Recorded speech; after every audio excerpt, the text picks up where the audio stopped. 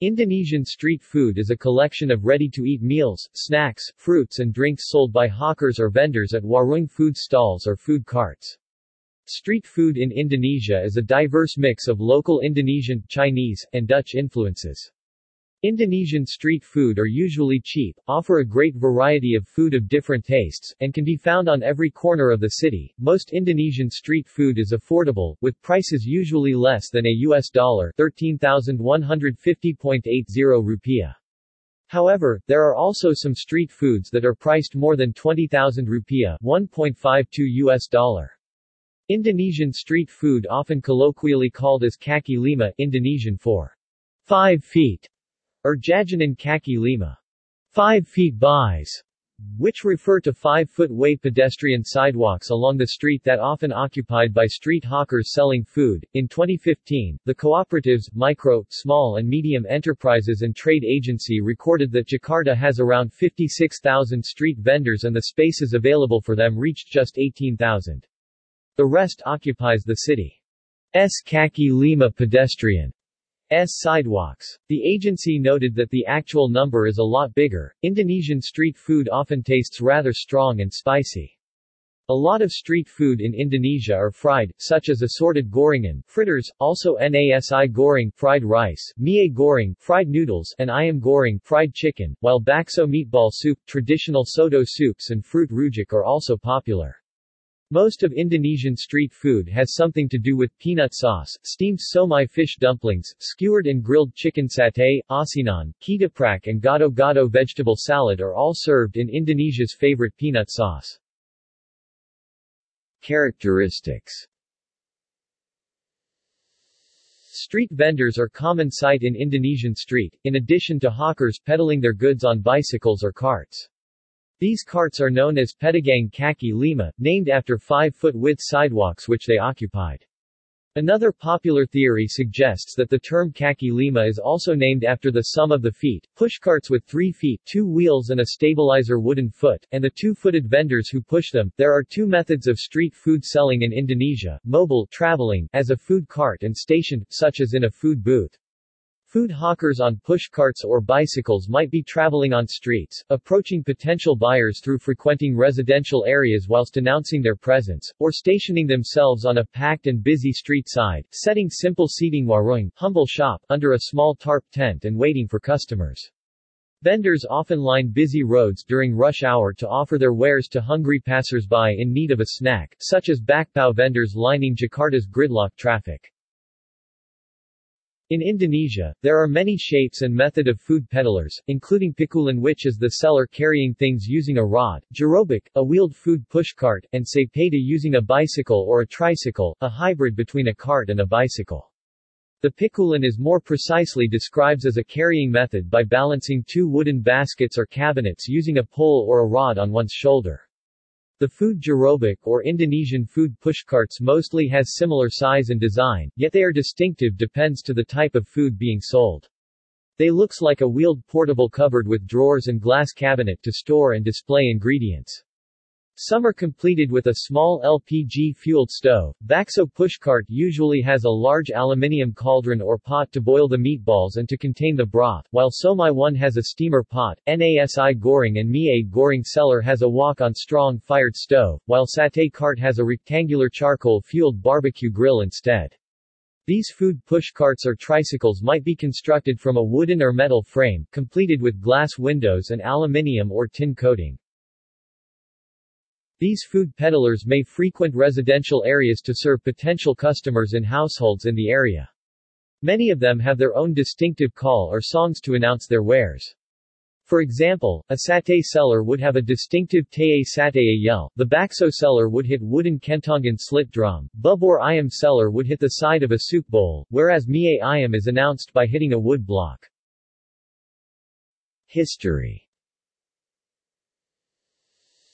Street food has a long history in Indonesian tradition. Some panels of bas-relief on Borobudur describes traveling food and drink vendor, suggesting that the small-scale food entrepreneurship has been established in ancient Java as early as 9th century.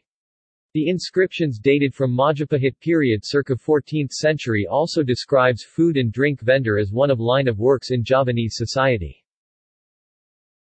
The influences of Chinese street food culture is also visible in Indonesia as early as Dutch colonial era. Numbers of Chinese-origin dishes such as various noodles, bakso meatballs, lumpia spring rolls, dumplings and Chinese steamed buns bakpao are common in Indonesian urban areas. Numbers of local Indonesian dishes has also become the source of street food variants, as well as foreign influences. Satay for example, is believed started as a street food in the early 19th century, as a local Javanese adaptation of Indian kebabs.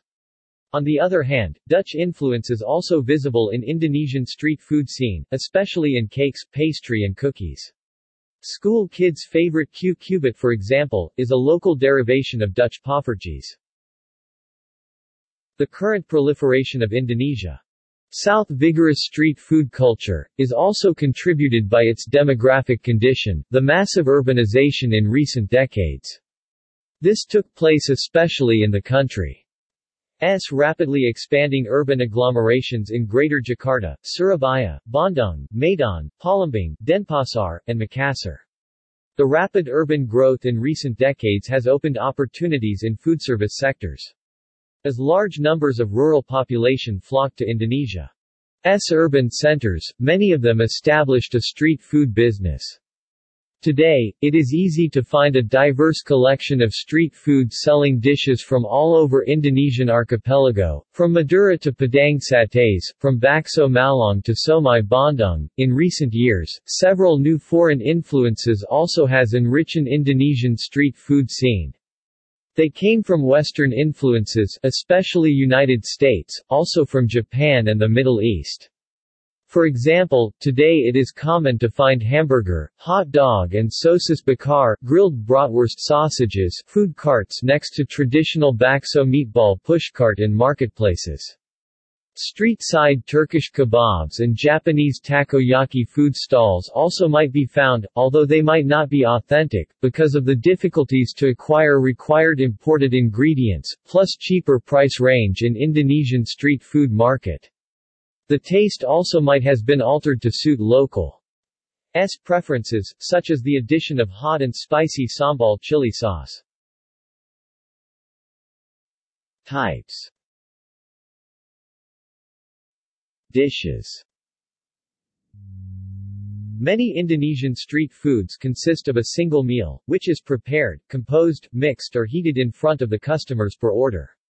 In most cities, it is common to see Chinese dishes such as bakmi or mie ayam chicken noodles and bakso meatballs sold by street vendors and food stalls, often adapted to become Indonesian Chinese cuisine. One common adaptation is that pork is rarely used since the majority of Indonesians are Muslims.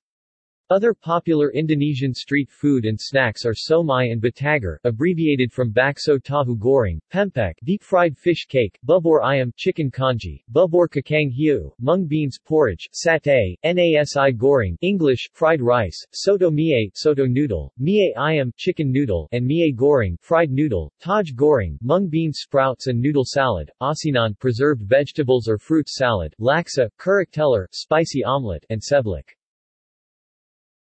Snacks Indonesian traditional cakes and cookies are collectively called as kue, and the assorted collection of kue sold in marketplace are often called jajanan pasar market munchies. Other street snacks include selection of pancakes such as kue ape and surabi. It is also common to find Chinese snack, such as bakpao steamed buns with sweet and savory fillings. Indonesian street-side snacks includes gorengan Indonesian assorted fritters which includes fried tempeh and oncom, tahu goreng fried tofu, pisang goreng fried banana, ubi goreng fried sweet potato, and bakwan fried dish of bean sprouts and batter. Beverages the traditional drinks lahang sugar palm sap and tuak palm wine, are among the oldest street drinks sold by street peddler using large bamboo tubes as liquid container. Indonesian street beverages include iced and sweet beverages, such as es cendol or es dawet, es teler, es cincau, es doger, es campur, es patong, and es puter. These beverages is more a dessert, a cocktail of fruit and snacks rather than a drink, since other than shaved ice it contains a lots of ingredients including fruit bits, tapioca pearls, grass jelly, etc. Fruit juices jus are very popular. Varieties include orange jus jeruk, guava jus jambu, mango jus mangga, soursop jus sirsak, and avocado jus alpukat, the last of these being commonly served with condensed milk and chocolate syrup as a dessert-like treat. Durian can be made into ice cream called es durian. Issues Hygiene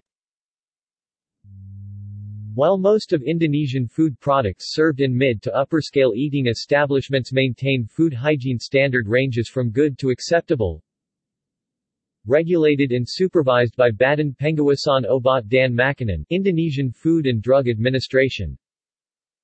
Some warung traditional food stalls and street vendors might have poor hygiene. Hygiene remains a problem for sidewalk dining as clean dish washing is seldom practiced due to a lack of running water. The tropical microbes also might contribute to food poisoning cases, especially among foreigners during their stay in Indonesia. It is advisable to choose cooked hot food instead of uncooked room-temperatured ones sold by street vendors. For example, when consuming food sold by street vendors, consuming hot-cooked mie ayam or hot soto soup is much safer than having cold and raw karedok, gado-gado salad or fruit rujak. City order Today, it is easy to find large numbers of tarp-tented warung food stalls and gerobak food carts occupying and clogging the kaki lima pedestrian sidewalks in Indonesian cities. This might cause walking on the street, especially in Jakarta, is unpleasant and potentially dangerous, as pedestrians are forced to walk on the motorways as the sidewalks are occupied by street vendors. Historically, the island of Java has been well populated, restaurant and street food businesses has been part of its society. Nevertheless, it was the massive urbanization which started in the 1960s that shaped the street food culture of Indonesian cities. As more and more people flock from rural areas into urban centers, new jobs are required. Many of the rural origin workforce are low-skilled and low-educated, thus most of them are absorbed in informal economic activities including street food business. Some of them try their luck to sell the delicacies from their hometown by establishing restaurants, warungs, food stalls, or traveling food carts. That is why in urban centers like Greater Jakarta, one easily discovers various dishes, traditional food and delicacies coming from all over the Indonesian archipelago. From Gado Gado Jakarta, Asinan Bogor, Bakso Malang, Sate Madura, Sate Padang, Pempek Palembang to Somai Bandung, nevertheless, the tremendous occupation of sidewalks by the Kaki Lima vendors, including street food sellers, has led to other urban and societal problems. As municipal authorities try to free the pedestrian sidewalks and ease the congestion on the street, numbers of disputes erupt between city authorities and street vendors. Indonesian, Pedagang Kaki Lima or PKL. This led to the call for city administration to regulate street food vendors in their area. Gallery. Indonesian street food. See also Hong Kong street food Street food of Thailand List of Indonesian dishes List of street foods Regional street food. References. Further reading. Miller, Keith Ruskin 2003. Indonesian Street Food Secrets, A Culinary Travel Odyssey. Hakabinkler Press Limited. ISBN 9780972106900. Retrieved July 14, 2016. Pantoja, B. May 9, 2014. Jakarta, to learn a city, look to street food. Rappler. Retrieved July 12, 2016.